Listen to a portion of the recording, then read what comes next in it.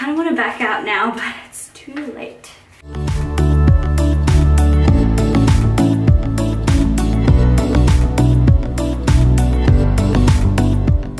So I have gotten subtle things like subtle highlights or balayages done in the past, but I've never completely bleached my hair. I do have extremely dark Asian hair naturally. As you can see, I've gotten some um, ashy subtle highlights done to my hair recently, but something that's always been on my bucket list is just to bleach it completely. So I just thought I'd give it a go this time. So that's the 30 volume developer I'm going to be using along with this bleaching powder. And then I got like an ash blonde color along with a 20 volume developer developer. I also got this no yellow um, mask or you can get like the no yellow shampoo um, just to tone it in between bleaches. So I have been studying online but I just thought I needed a break from my studies and thought I would document this process at the same time. So I'm excited to do this and please don't try this at home. Please go to a salon and get it done professionally. So I've just applied some coconut oil in order to coat and protect my hair um, and I'm just going to section it. So the first section would just be somewhere there and I'll just tie it up. So that's the first right so that's the first section. Oh god I'm nervous about this.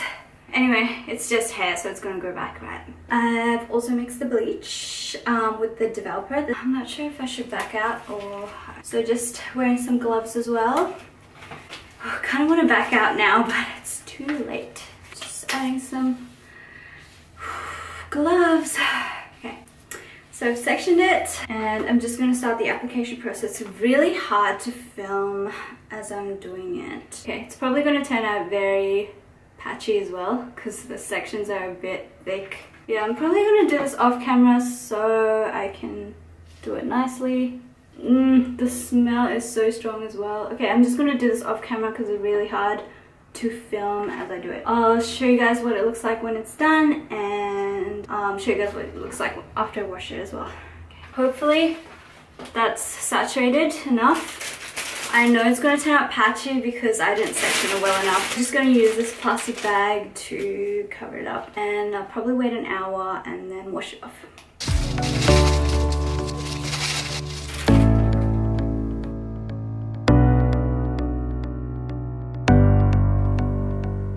This is what it looks like after the first bleach.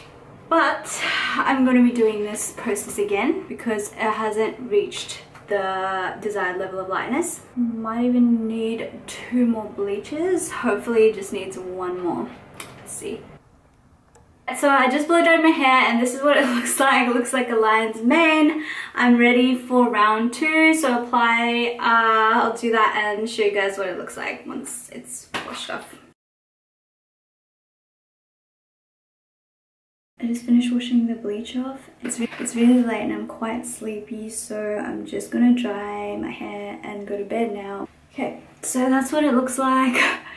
Wet. I still have to dry it so it will be lighter when I dry it. Um, it has gotten lighter and I think my highlights have turned really white um, and the rest is still pretty yellow.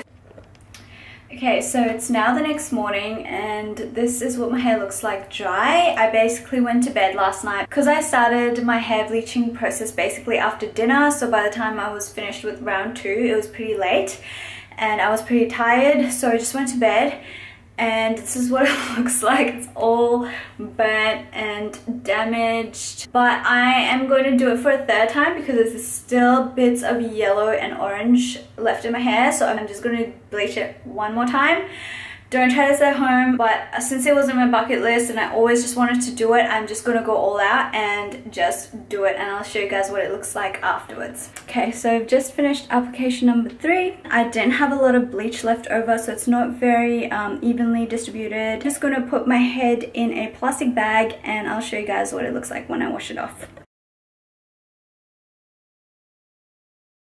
Okay, so I just washed my hair and as expected, my hair feels like noodles and they're breaking off but that was expected and I knew. So this is natural lighting and it looks pretty light. I'll tone my hair and show you guys what it looks like. So this is the final result. I basically washed and toned and straightened my hair. So I initially used the light ash blonde color and I really wasn't liking the color. It wasn't dark enough. So then I went ahead and purchased the dark ash blonde instead. Um, and then I applied that with developer and this is the result. I quite like the results. Uh, of course the quality of my hair has been compromised. So I'm gonna have to apply a lot of coconut oil, hair masks and some Olaplex treatments. Other than that, this is what it looks like in natural lighting and I had fun experimenting with my hair and just filming this video. So thank you for watching and I'll see you guys next time.